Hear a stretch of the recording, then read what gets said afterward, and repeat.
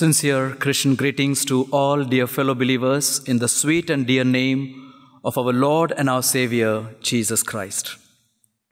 It's the 39th year, and we are once again here in the presence of the Lord.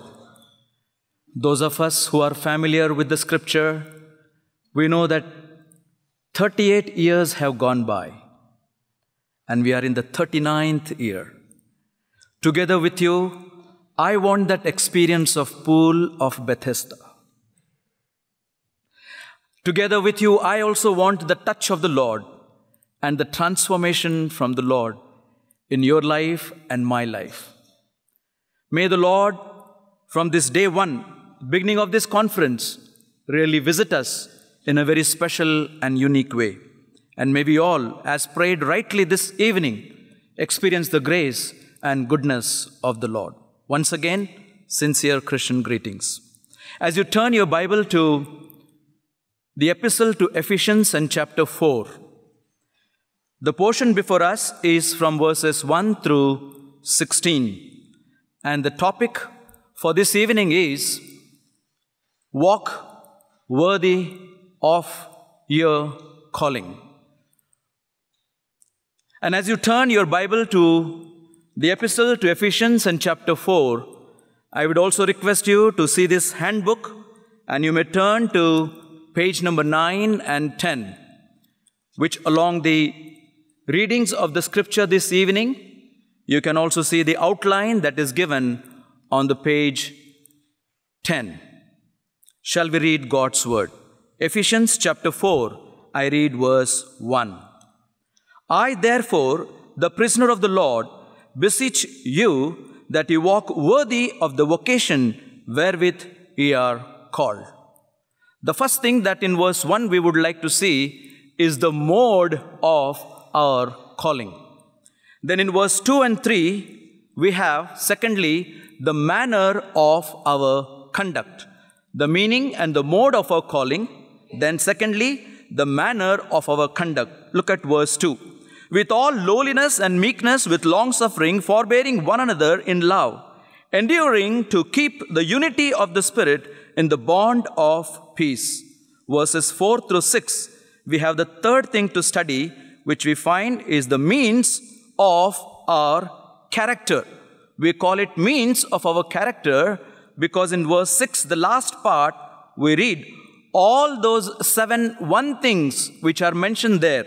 That is, one body, one spirit, one hope, one Lord, one faith, one baptism, one God and Father of all, who is above all and through all. But the verse concludes, and in you all. That's why these are the seven things given for us as the means of our character. Three things we have said. Number one, the mode of our calling. Number two, the manner of our conduct. Number three, the means of our character. Number four, when we read through verses 7 through 11, we find the method of God in our constraining. What constrains a child of God to walk worthy of the calling of the Lord? Verses 7 through 11. And two things are very specifically mentioned there. But unto every one of us is given grace according to the measure of the gift of Christ when we read verses 7 through 11, we find it is the grace of God because of which we are what we are. And it is the gift given by the Lord Jesus, about whose ministry it is mentioned in these verses. How that he, being Son of God, became Son of Man, came down into this world, made that great vicarious sacrifice on the cross of Calvary for us. Not only that, how he has led the captivity captives and what's the meaning of all that? Having done that greater ministry in his work on the cross, the Lord Jesus Christ has not only shown his grace towards us, but has also given the needed gifts which are to be constraining every child of God to walk worthy of the calling. That's why we read verse 11 and he gave some apostles and some prophets and some evangelists and some pastors and teachers. So, four things we see there. But the fifth one is the measure of our cause. the measure of our cause, which is given in verses 12 and 13. For the perfecting of the saints, for the work of the ministry, for the edifying of the body of Christ, till we all come in the unity of the faith and of the knowledge of the Son of God unto a perfect man, now underline, unto the measure of the stature of the fullness of Christ. The ultimate purpose of God calling out, God showing that mode of calling, the manner of our conduct, the means of our character, the method of our constraining, the measure of our cause to be brought to the stature, the fullness of the stature of the Lord Jesus Christ. Then verses 14 through 16, we have the maturity of our conviction. Verse 14 says, Why all this? That we henceforth be no more children, tossed to and fro, and carried about with every wind of doctrine by the sleight of men and cunning craftiness whereby they lie in wait to deceive. But speaking the truth in love, may grow up into him in all things, which is the head, even Christ. And we conclude with the seventh thing which is mentioned, the man of our concern. Who is he? Verse 15 concludes, which is the head, even the Lord Jesus Christ. Seven things which we see in this verses 1 through 16. That is mode of our calling, manner of our conduct, means of our character, method of our constraining, measure of our cause, maturity of our conviction, man of our concern. Having keep keeping this outline before us, we want that the Spirit of God should really come this evening, who is the one who inspired the scripture and become our apt teacher to bring this word open before us that you and I may see ourselves and learn the precious lessons that are given here in this passage. As is the habit of Apostle Paul, when we come to this chapter 4, the moment we read these first few verses, as he says, I therefore, the prisoner of the Lord, beseech you that you walk worthy of the vocation wherewith ye are called. Walking worthy of the vocation, the calling that we are called with. It is always the pattern of the writing of the Apostle Paul. Opening this verse immediately as if we find he is bringing a balance before us. A balance in his hand, and there are two pans to this balance. In one pan, he is keeping chapter 1, 2, and 3, and the other pan, he is keeping chapter 4, 5, and 6. When we see the first pan, and chapter 1, 2, and 3, we know that is the practice of writing of Apostle Paul. He presents the doctrine to us. But in the other pan, he says, if the doctrines are so weighty and so wonderful, there is needed that this doctrine should be seen as a practice, a duty to be followed in our life. So it's a balance in his hand. On one hand, in the pan is the doctrine. On the other hand, are the duties. On one hand is the teaching that are given to us, but on the other hand, the way, that manner of life that you and I are supposed to live. But then on one hand, we see it is the educating factor, but the, on the other hand is the encouraging factor. On one hand, what all he would like to say is that the core of the importance of the doctrine that are given to us, who you are in the Lord Jesus Christ, so that it might correspond to the other pan, to be living a balanced Christian life. How you ought to live, who you are, and how you ought to live.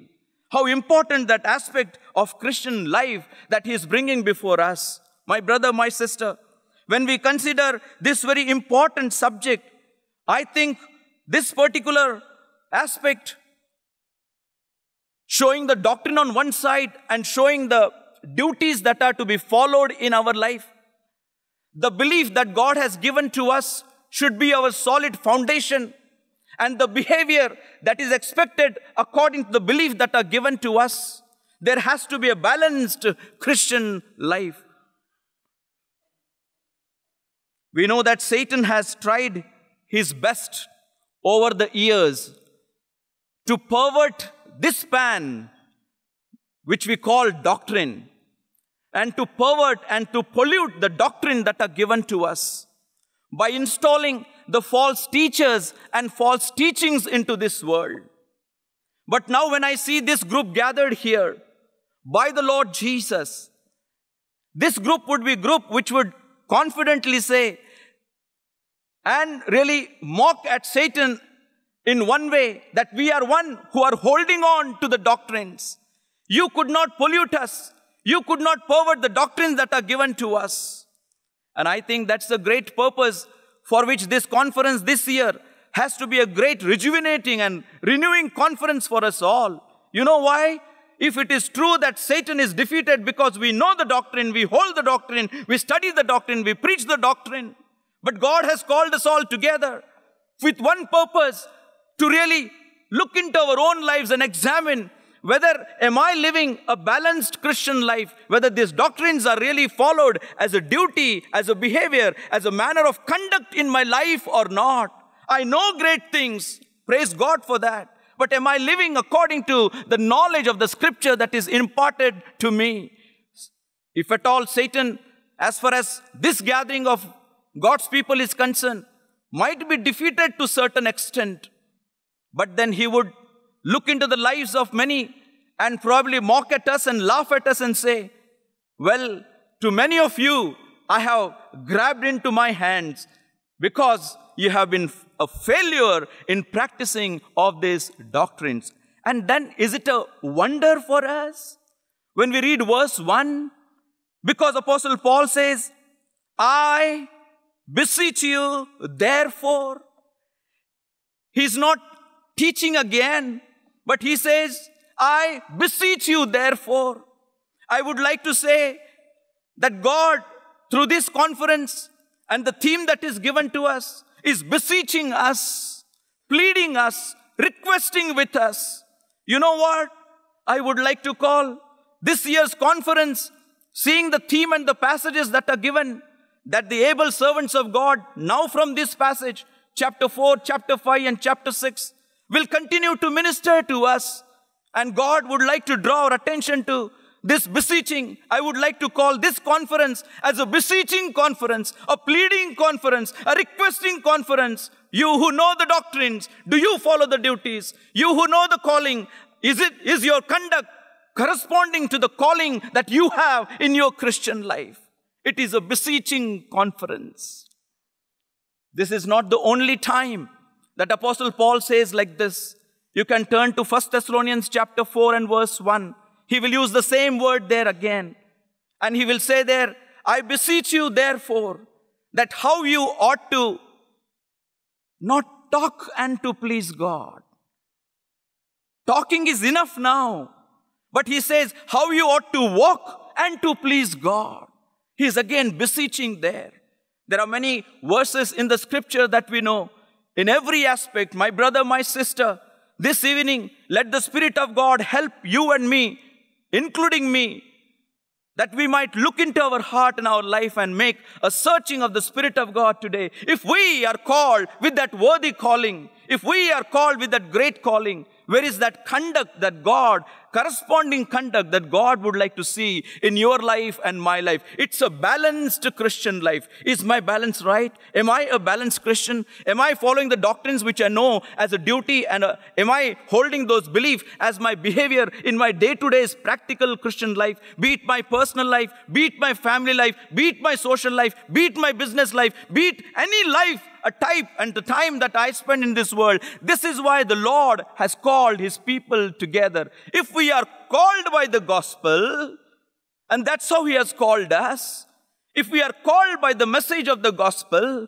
did he not write to the church at Philippi in chapter 1 and verse 27 and say to them that let your manner of life be such as it becometh the gospel of the Lord Jesus Christ. This is a searching conference this year. This is an examining conference this year. May the Spirit of God really look into your heart and my heart and convict us of things which are needed to be corrected in my life, in my family life, and in my assembly life, that I may really live a balanced Christian life. Now, notice in this passage, as we uh, read in that verse, how beautifully he starts there. I, therefore, the prisoner of the Lord, beseech you. I, I'm surprised when I read that word. You know what he's introducing himself? He says, I, the prisoner of the Lord. What do you mean by that, Apostle Paul? He says, This is a worthy walk. This is a worthy walk. And remember, it is not an easy walk. Don't take it easy. Don't take it casual. Don't take it just lightly about this walk. I, the prisoner of the Lord, beseech you. What do you mean by that? It is a worthy walk, but it is not an easy walk. This walk, because I walked, I have landed up here in prison. This worthy walk for which I have given my life and followed of the Lord Jesus, I'm here in captivity, he says. My brother, my sister, Probably having read that word and heard what he is telling, there would be a question coming to your mind and my mind. You know what? We would ask to Apostle Paul, what? Because you have walked this worthy walk, you are into captivity. Because you have walked this worthy walk, you are in prison. Then would you not advise us, Apostle Paul, that we should stay away from such a walk which will lead us to captivity and prison? He would say, no, no, no. It is indeed a walk which is worthy. It may be a bitter walk while you walk in this earth. He would say to us, but it is a better walk. But because we are walking with the Lord Jesus, we are walking according to the calling of the Lord. We are walking right into heaven. It may be a bitter walk in the earth, but it is a better walk as far as we are going to heaven. Praise God. Praise God for that. It is a blessed walk because we are walking into heaven to the presence of the Lord Himself. The people of this world may not understand all that. You know, you and I, because of this walk with the Lord Jesus, may have to sacrifice certain things in our life, might have to face certain opposition in our life. But in spite of all that, dear brother and sister, there is one who knows the value of this walk because he in his body paid the price of the ransom of our sins in his own body on the cross of Calvary. Because of the price that he paid, this walk becomes a very special walk in his presence. You would ask me, and rightly so, brother, if I'm going to match my conduct with my calling, if I'm going to match my conduct with my calling, then tell me, what is that calling? Walking worthy of the calling that we have received. If we had to match by the measurement, if we had to really go ahead with this uh, path through our life and our conduct, which is to match our calling, let me draw your attention from this passage, dear brother and sister, to certain features of this calling, that we may see the corresponding conduct that is attached to every feature of calling that we see in this passage. I would like to highlight, as the time permits, they usually say seven, but I have eight. But if you permit me, I will go to the ninth. Nine features of this calling which we have. And each of this feature, when we study in the scripture, we have the corresponding conduct which should be seen through your life and my life.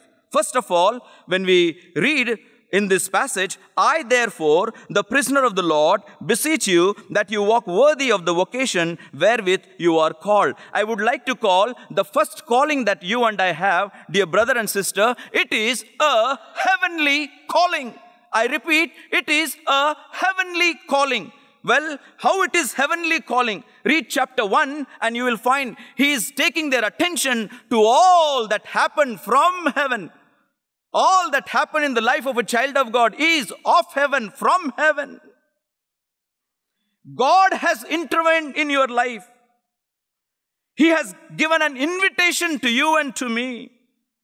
It is a calling that started in heaven, in the heart of God, and it reached to us through the message of the gospel of the Lord Jesus Christ. Isn't it true? In its origin, it is heavenly. In its nature, it is heavenly. In its destiny, it is heavenly. It is a heavenly calling. God calling man. Man first committed sin against God. God should have immediately punished because God has already told him, if you, if you, I will. If you, I will. If you, I will. He did and he should have. He should have punished man right there in the Garden of Eden. But isn't it a wonder that the first question that we hear from the Bible, from the mouth of God, Adam, where are you? What a seeking, what a calling, what a searching, what a finding out. He knew where he was. Then why is he calling, Adam, where are you? Not that he was not omniscient and he has not known where he was. No, no, no. He knew where he was. Then why is he calling? Just calling for that sake that he should know that where he is, he should not be there. Adam, where are you? He's a God who is calling. It's a heavenly calling. First of all, I would like to highlight and tell to you, dear brother and sister, it started in heaven, not in the heart of man, not on the ground below. It is in the heart of God, and from God it has come to each one of us. Ephesians is an epistle which takes us to that higher plane and shows us that Apostle Paul is actually bursting out with joy.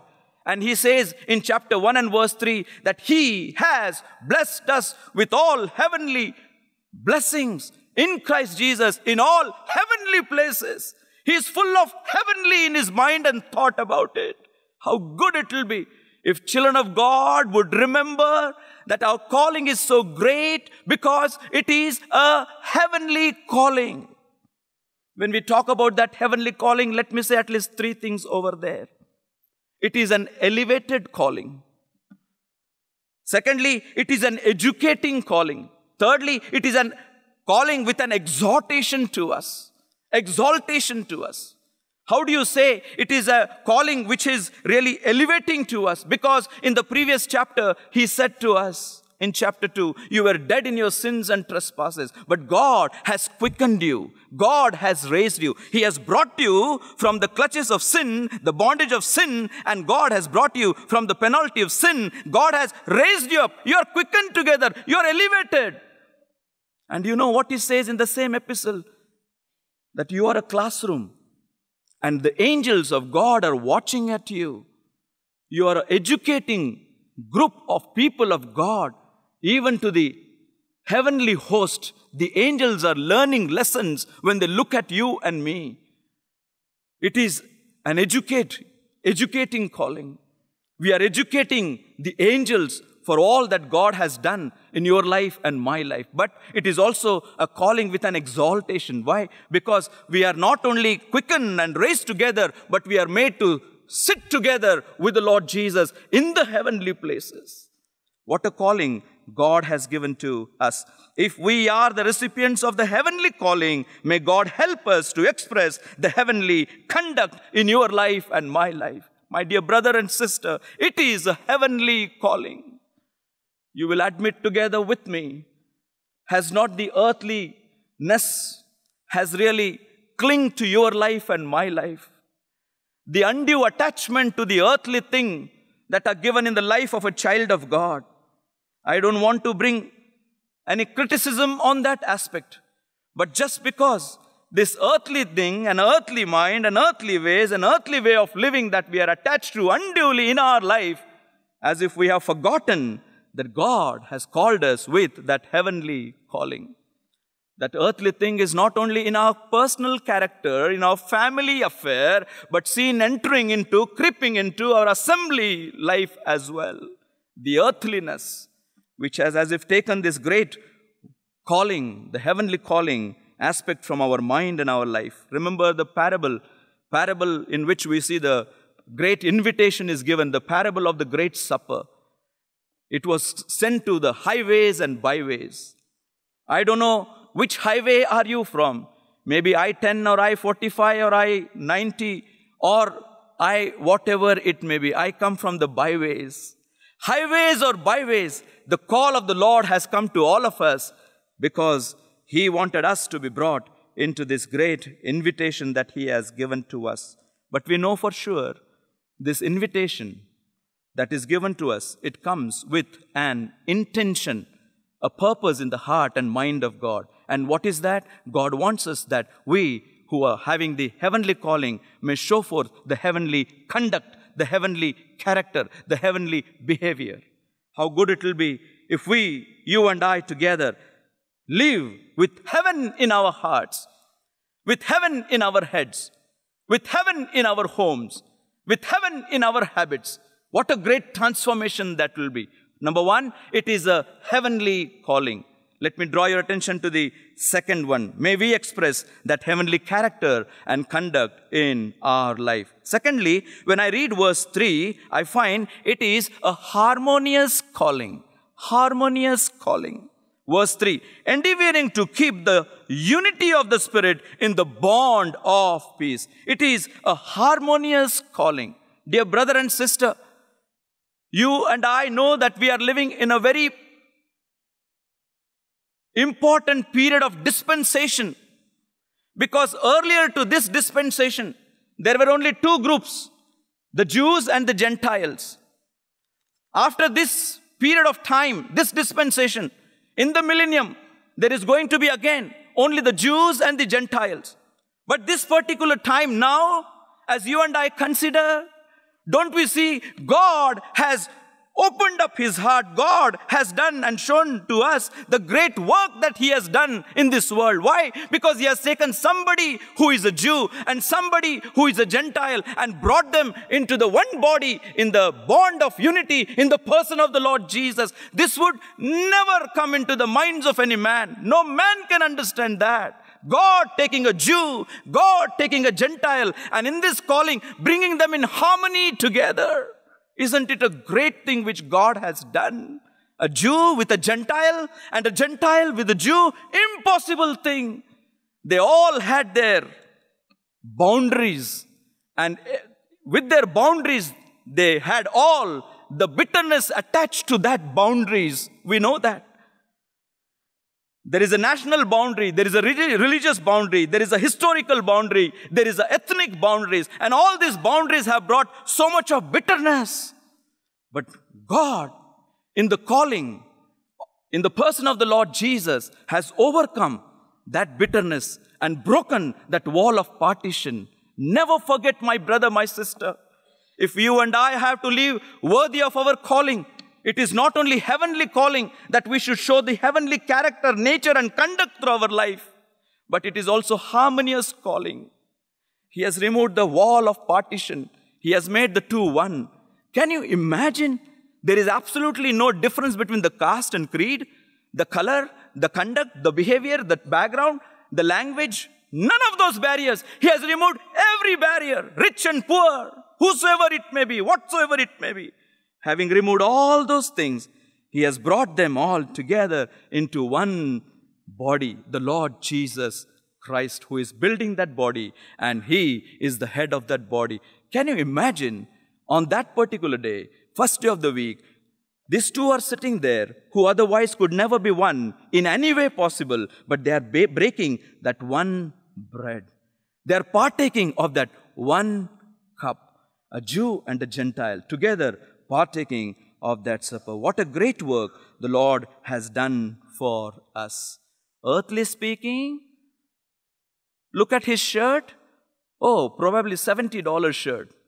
And look at the his shirt, or maybe a $10 shirt. Oh, this shirt is glittering and shining and it's very nice. But this shirt is an ordinary shirt. That would make an earthly difference, you know. But look at the price tag that God has placed in your life and my life, brother. What is the price tag that you carry? What is the price tag you carry, dear sister? It is the price tag, only one which is in the blood of the Lord Jesus Christ. There is nobody sitting here can say, I am saved more than him I am saved more than her. No, each one of us saved equally and by the blood of the Lord Jesus Christ. We carry only one price tag and it is the blood of the Lord Jesus. There is no one great and no one smaller. We are all brought into that one bond and that's why the writer says here, Apostle Paul, what is that? Endeavoring to keep the unity of the Spirit. Oh, where is that has gone today? Maybe when, when we talk about it, we may think, well, it is concerning the Jews and Gentiles. But my brother, my sister, in the society that you and I are living today, whether it is in case of marriages or whether it is in case of uh, mingling with others or whether it is sometimes even inviting somebody into local assembly or barring them from the local assembly fellowship when it is because of the radical differences of the racial distinctions how sad that is if god in christ jesus has removed the wall of partition to walk worthy of that high calling Remember, when you look at that brother or that sister next time, just look at them in this manner. The blood of Lord Jesus Christ has washed him.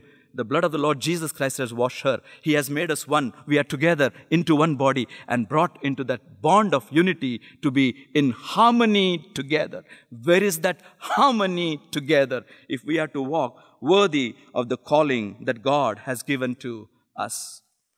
My brother, my sister, if heavenly calling demands us a heavenly conduct, I would like to say this is a harmonious calling and that demands a life of harmony with one another.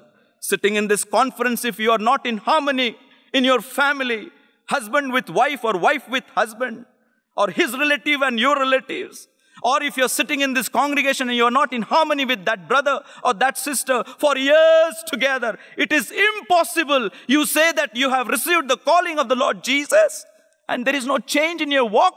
There is no change in your talk. There is no change in your behavior. It is impossible. That can never happen because Christ has not, us, not only called us with an heavenly calling, He has called us with a harmonious calling.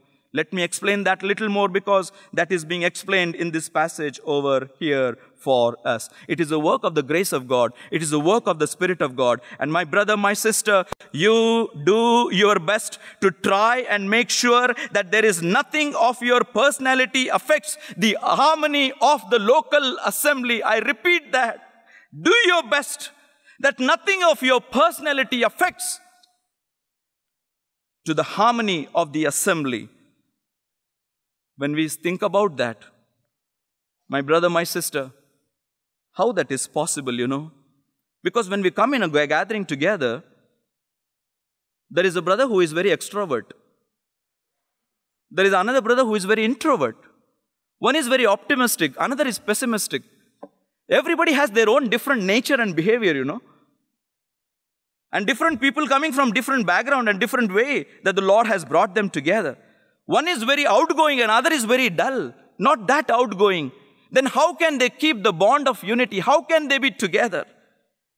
That's why Apostle Paul uses that word in verse 3 endeavoring to keep, making an extra effort to keep, reaching out.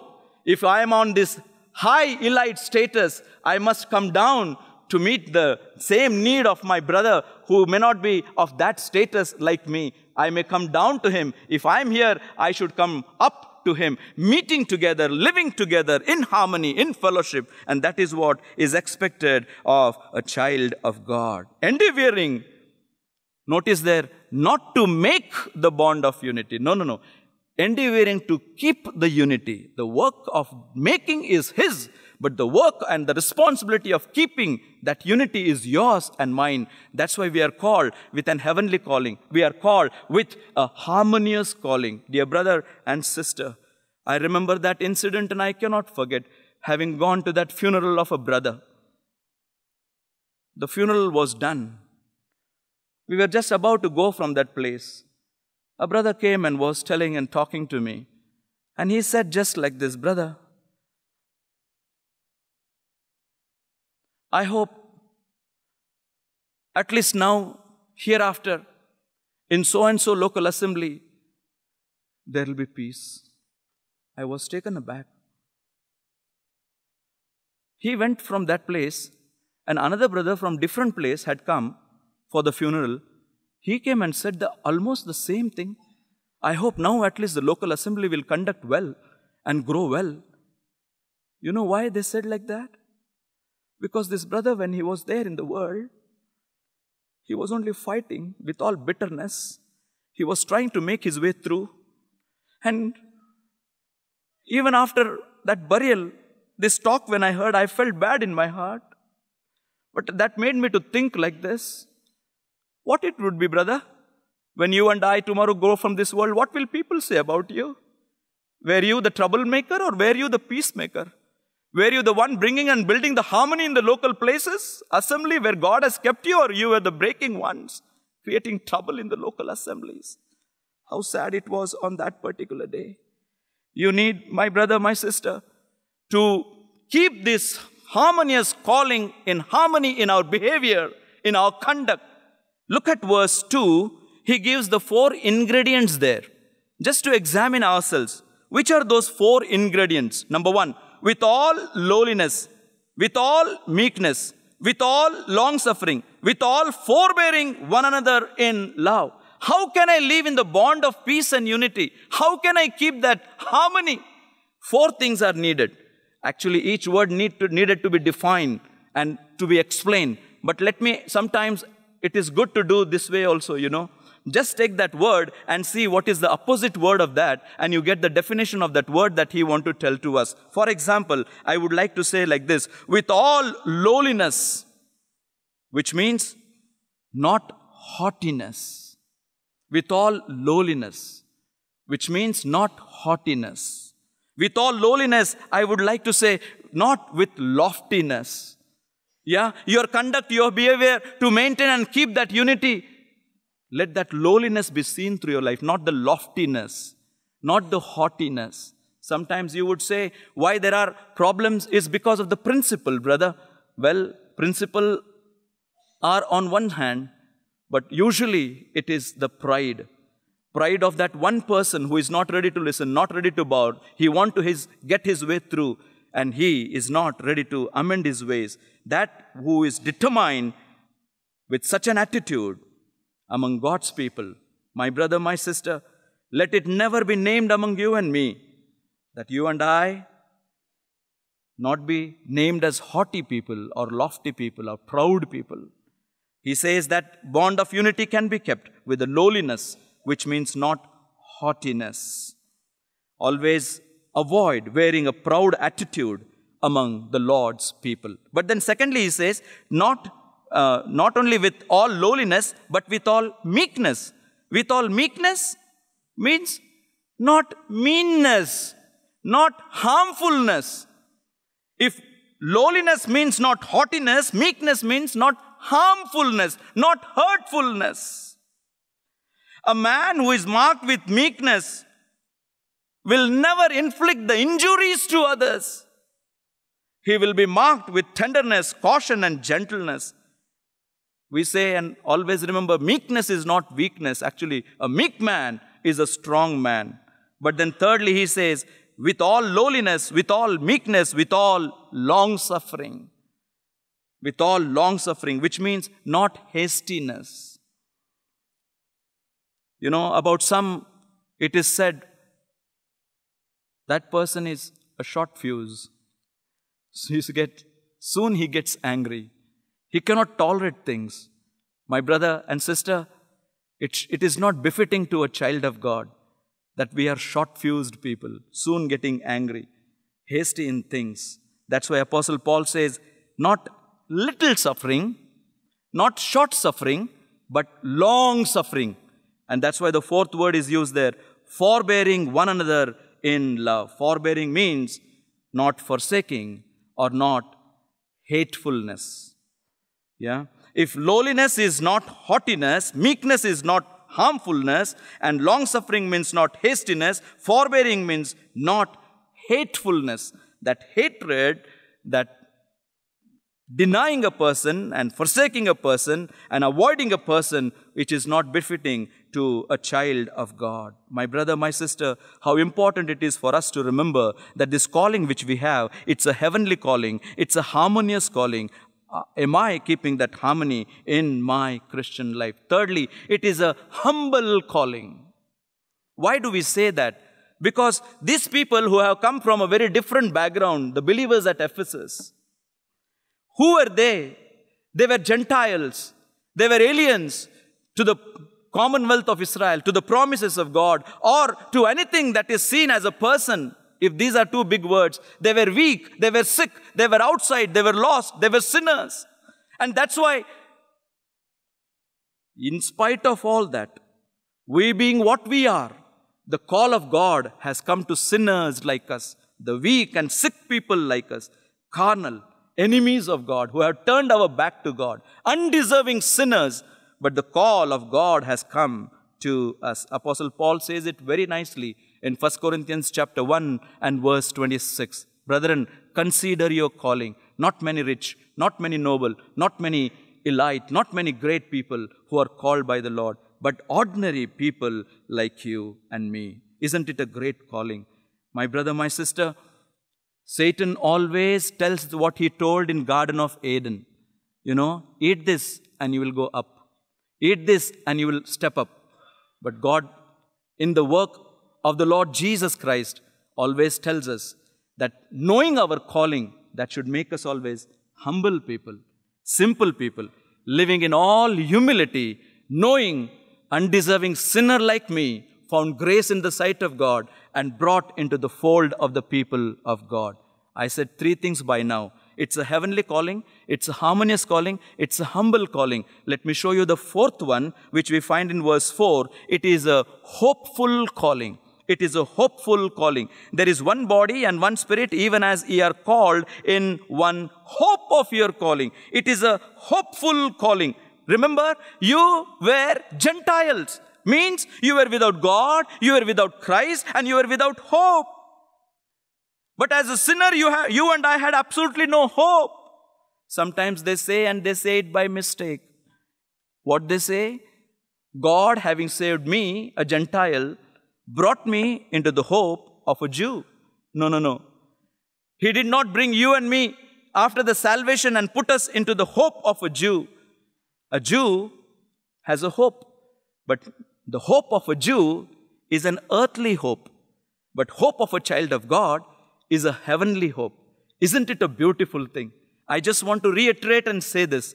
When you and I know it's a heavenly calling, it's a harmonious calling, it's a humble calling, and fourthly, it's a hopeful calling. Dear brother and sister, don't put your heads down. Lift up your head because you have a hope and a living hope, a heavenly hope, a true hope in the Lord Jesus Christ. It's a hopeful calling, the hope of your calling. Don't be so occupied with the bumps and the bereavements in your life. Lift up your heads. Praise God. Thank God. Let us put away all grumbling and complaining. God has already given to us all blessings in heavenly places. My brother, my sister, how good it will be if you and I become a spiritual optimist and matching our conduct with our calling. Number five, it is also helpful calling. It is a helpful calling. Why do I say that? Because when God has not, God has not only called us to heaven, but has called us together. One of the very important subject in this epistle to Ephesians we see is the subject of one body, one bond. And Christ being the head of that body, we are incorporated into that body. It's a very interesting study when we look into this particular portion of the scripture and know that it is a helpful calling. We are brought into the body. Whatever the position God has given to us in the body of the Lord Jesus Christ, we are kept there to be helping one another. God is God who doesn't do how man does. Man, for the sake of pleasing these days, what's happening, you know? While we believe there is no one man ministry in the assemblies, and that's true, but have we forgotten that there is no any man ministry in the assembly? There is no one man ministry, that's true. But at the same time, there is no any man ministry in the assembly. That person, because to please everybody in the assembly, he is also given a chance, he is also given a chance, and they all go to the podium and they open the word of God and they try to speak. But actually, they are killing the time of those who are sitting there. And that's what is happening today. God doesn't do like that, you know. God doesn't do that. You and I, for the sake of things, we might send a person to podium who will not be able to fulfill the duties that are given. Why? Because that power, that ability, that grace, that gift is not there. But God doesn't do that. When God puts you and me in a particular place in the body, He also gives the power to exercise that gift in that body. He provides the help, He provides the grace, He provides the power, He provides all that is needed that that gift may be exercised. Whatever position you and I may have in the body of the Lord Jesus, but He also gives that enablement from above. That's why three things I just want to quickly say here. First of all, there is a diversity of this gift. Diversity of the gift. Where do we read that? I like it. Verse 11. And he gave some apostles and some prophets and some evangelists and some pastors and teachers. He didn't give all to one person. He gave some to one, some to others, some to others, some to other. There is a diversity of the gift. When everybody knows what my gift is and exercise that particular gift, knowing this is what is given of God, that body will be a healthy body. There is a diversity of the gift. That's why the word some is used four times in this passage.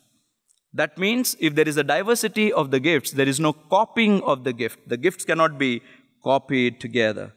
But not only that, my brother, my sister, if God has given any gift to any brother, any sister in the local assembly, and if we just do what is given to us, I tell you, what good thing will be seen in our life, you know? My brother, my sister, in one word, I would say, just be what you are. Just do what you are. Just live what you are. Just be what we are ourselves by the grace of God, and what a change that will bring in knowing the calling that we have in the Lord Jesus. But when you say, Well, brother, I'm not happy about that. I can do this also. And some say, I can do that also. That's why the Bible says to us, there is not only diversity of gift, but there is a distribution of gift. If the diversity of gift means no copying, then the distribution of gift means there is no complaining. No man can complain to God what is given to us. Number one, the diversity of gift. Number two, the distribution of gift. Number three, the design of that gift. And that's why one cannot really conceit in that gift that is endowed to him or her. What do you mean by that? There is a great thing happening these days, and that's why, having forgotten that we are given or endowed with any gift which may be exercised, no gift God has ever given as a personal toy to be played with, as a gift to be showing oneself before others. No, Every gift God has ever given is for the common edification of the church, of the local assembly, of the body of Christ. Whatever gift is given, if it is not exercised for the edification of the body, for the help of the others, that's what the hope of our calling. Not only that, but the helpful calling that through my gift and exercising of that gift, if everybody does what is assigned to them, what a healthy body that should be seen there. Heavenly calling, harmonious calling, humble calling, hopeful calling, helpful calling. If everybody does what they are supposed to do, there will be what results seen. He says the body will be growing, the body will be guarded, the body will be graceful, the body will be grounded well in the things of God, and the purpose of God will be brought to pass through your life and my life. My brother, and sister, these days, the greatest disease, or I should say the curse that is entering in into the lives of the people of God is what you know? The individualism. The meaning of that word would be everybody exists for me. I want everybody to welcome me. I want everybody to throng around me. I want everybody to ask me. I want everybody to look to me. Individualism. That's the greatest curse that we see in the lives of many because they have forgotten the teaching of the scripture, the teaching of the body that God has brought us into. I am there in the body, always remember, for the good of my fellow believers. And if we do what we do for the good of our fellow believers, what a great blessing that will be. When they come to the local assembly, they say, I get nothing over here. I would like to ask a question to such people What have you given to the assembly? We What have you contributed to the assembly? In the body, if the, if the Lord has placed us in the body, there is no inactivism in the body. What is your role? What is your contribution? What is that you're doing? You and your family, that the body might be healthy, body might be built. That's why he says, what is it? That we are brought into the body of the Lord Jesus, that we may be helping one another. If the heavenly calling demands heavenly character and conduct. Harmonious calling demands unity in our life and harmony in our behavior. If humble calling demands humility, hopeful calling demands that we may lift up our heads to the Lord and there be no complaining and grumbling. And the helpful calling makes us to exercise our gift which God has given that this result might be seen through our life and living in this world. Sixthly, it is also a holy calling. Look at verse 17. When I say verse 17, I am not encroaching into the area of my brother who will be taking the passage next hereafter. But the verse says to us like this. What is that? This I say therefore and testify in the Lord that he henceforth walk not as other Gentiles walk in the vanity of their mind. This was your past life. As Gentiles, you walked in all unholiness and in all greediness. But now you're called with that heavenly calling. But it's also holy calling. You're called into holiness to live a separated life and to live a life which is honoring God. It's a holy calling. Dear brother and sister, in this society which has identified the need of human heart and to bring all corruption that is possible, that need is being fed by the society. You go to the internet, you go to the television, you open a magazine, all the corrupt need of a human heart is being fed by the world, the society around us. But the call of the Lord is, let this not be named concerning you. This is not we have, this is not what we have learned of Christ. Brother and sister, we are called with a holy calling. Am I living a holy life? Am I saying no to sin? Is there a secret sin in my life? Is my life defiled before God? If God would examine me and look into my heart and life, if He sends His searchlight, is there anything that is defiling, unclean in my heart and my life and my conduct? We need to confess that, repent that, and this should be removed from our life. You are to be marked with righteousness and holiness. Dear brother and sister, it's very important that we think that our calling is also holy calling, that we should be holy in our very nature in all that God has done to us and given to us. It's a holy calling. But seventhly, it's also honest calling. Look at verse 15. Look at verse 15. But speaking the truth in love may grow up into him in all things, which is the head, even Christ. Speaking the truth in love. It is an honest calling, which means at least seven times in this epistle, you will read the word truth and truthfulness, and you can draw beautiful lessons from that. Seven references to truth in the book of Ephesians that we find. These people who were already otherwise living in all falsehood, but God, through this calling, has brought them to the truth that they have heard the truth and truth has set them free. Let that truth be really governing us, controlling us, helping us to live. That honesty in our words and honesty in our works may be seen as a child of God walking worthy of our calling. It's a honest calling. Dear brother and sister, it is not befitting for a child of God to lie. That's why he says, let all evil speaking be put away. Just watch that there be no slandering words, no words of assassination of another's character come through my tongue, come through my mouth, come through my speaking. The lies.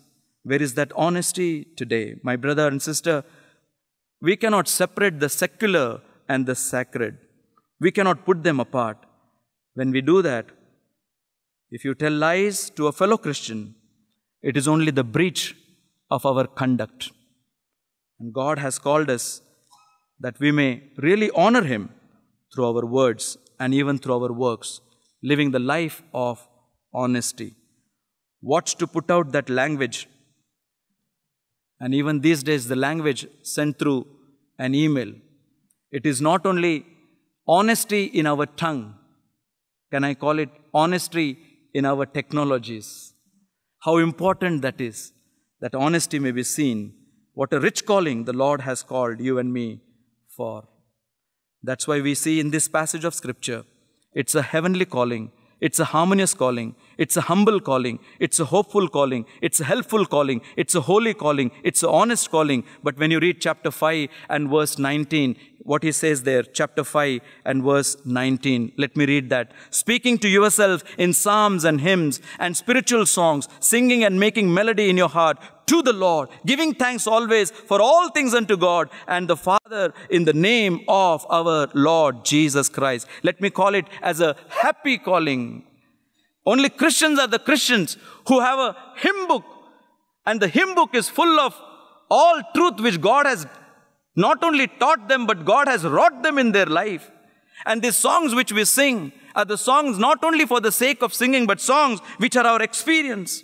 These psalms, and he says, making melody in your heart. Christians are the singing people. Singing it thoughtfully, singing it meaningfully, singing it intelligently. Every meetings we have singing. What a psalm book that we have. How many hymns and spiritual songs. And brother and sister, we have the music. Not a bit here and bit there. We have a music, not kept in a corner here and there. We have a music, and I'm talking about the music that God has put in the heart of every Christian. What a great work the Lord has done in your life and my life. Apostle Paul, that's why he says in this verse, I therefore, the prisoner of the Lord, beseech you that you walk worthy of the vocation wherewith you are called. This is what we are called of. Called for, called out. And if we remember this eightfold calling that we talked about, you can add to that. It's a high calling. You can add to that list as we study the scripture.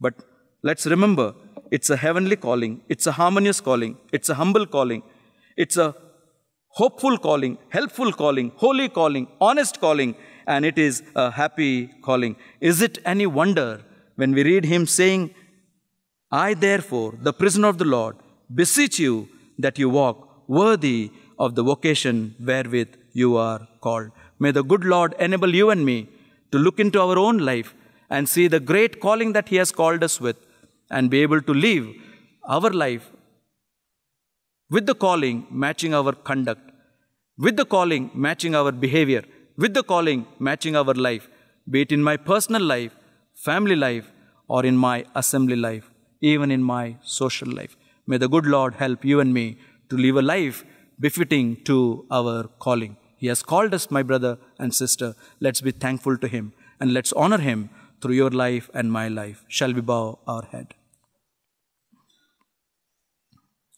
And look to the Lord and thank Him for all that He has done in your life and my life. Undeserving person like me, but He has called me. He has separated me. He has brought me. He paid a great ransom for me. I am His and He is mine. The link is unbroken. I am here but for a while. Am I living a life which is befitting to what He has done? and what He has called me for. Let's make an amendment and a change in our life and live a life for the glory of God. Heavenly Father, we are so thankful to you for your mercies upon each one of us. This year's conference, on the day one, you have called us with a worthy calling. We know it is not an easy calling. Help us to know that, dear Lord, how great and how wonderful various virtues that we were just looking into. May we always have the impression of this in our heart and our mind, being mindful of the great calling that you have called us with. May each one of us, young or old, wherever we are, may we live for the honor of your glory. Undertake for us, dear Lord, forgive us our shortcomings. Help us to love you and live for you in the days to come. May this conference be a great blessing to all of us. And also, dear Lord, the coming sessions may be really empowered by your Spirit, that you may make a searching searchlight into our heart, that we may go with renewed decisions in our life, a change in our life, and live for the honor of your glory. Thank you for hearing us. Thank you for blessing us. Disperse us, dear Lord, that we may, given, we may be given good night's rest, and tomorrow onward, all sessions undertake for us, dear Lord, and help us to honor you and love you. We give you all glory and honor. Ask this prayer in the blessed name of our Lord and our Savior, Jesus Christ. Amen. Amen. God bless you.